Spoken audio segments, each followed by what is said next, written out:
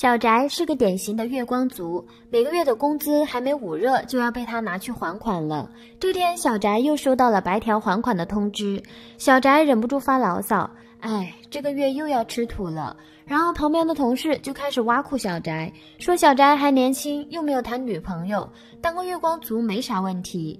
听到同事这样说自己，小翟就更加郁闷了。月光族又不能怪自己，谁叫工资这么低，一个人都不够用，交女朋友就别痴心妄想了。上班摸鱼的时候，小翟意外发现自己心仪的那款游戏机又有货了。小翟非常激动，准备立刻下单，结果发现自己的额度不够了。于是小翟又尝试了几张信用卡，然而这些卡也都透支了，没有一张是可以用的。哎，算了吧，以卡养卡还是不行，只会越用越多。就在这时，手机突然弹出来一个小广告：“恭喜你获得了人生白条使用权，请点击图标下载。”咦，这是新出的网贷 app 吗？刚好现在急着用钱，小翟想都没想，直接点击下载了。一番注册后，系统提示小翟有二十万的使用额度，小翟高兴坏了，这个 app 真不错，居然给这么高的额度，简直就是雪中送炭啊！于是小翟就开启了疯狂买买买的模式，一口气买了好多想买的东西。一个月过去了，系统提示小翟还款八千八百四十八元。虽然小翟已经很克制的花钱了，但这将近九千块的还款，小翟将工资全部都搭进去也不够。就在小翟打算分期还的时候，他发现下面还有一个其他选项，点击一瞧，小翟惊呆了，居然可以用身边的等价物来还款。人际关系、亲情、运气和健康，看到这几个还款方式，小翟瞬间就明白了为什么这个 app 叫做人生白条了。那就先试一试人际关系吧，毕竟有的人际关系根本就没用。首先，小翟就选择了同事老王，毕竟这个老王喜欢说风凉话，经常挖苦自己。如果真的和他断绝人际关系，那反而是好事。点击确定后，系统显示已还款六百元。隔天，小翟和一个同事正在休息室抽烟，然后老王过来了，他也过来抽烟的。不过抽烟过程中，他没有和小翟说一句话，似乎两个人根本不认识一样。不过小翟也不在乎，这样更好，断绝和老王的人际关系，耳根更亲近了。不过话说，老王的人际关系也太不值钱了吧，才六百块钱都不够吃一顿大餐的。于是小翟又将几个不经常来往的亲戚拉黑了。一顿操作后，小翟的白条全部还清了。很快一个月过去了，小翟的联系人越来越少，他已经没有什么人可以断绝人际关系的了。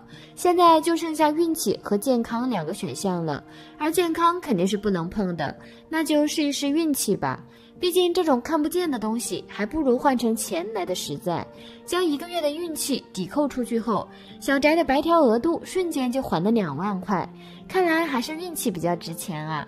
这天晚上，小翟在酒吧喝酒的时候，看见一位漂亮的妹子将手机落下了，于是小翟急忙追了上去，将手机还给了妹子。妹子非常感激小翟，还请小翟喝了酒。就这样，小翟和妹子认识了，并且很快成了男女朋友。此时的小翟不仅开始怀疑那个人生白条 app 是不是出了问题，明明抵扣了一个月的运气，怎么自己反而还走了桃花运？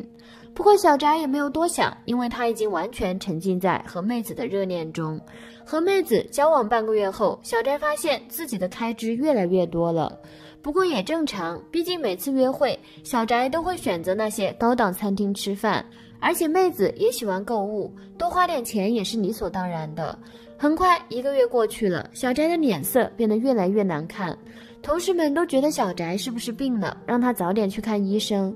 而小翟急忙解释：“没事没事，最近熬夜打游戏，所以看起来有些憔悴而已。”其实小翟也发现自己的身体有点不太一样了，于是他问妹子自己的脸色是不是不太健康。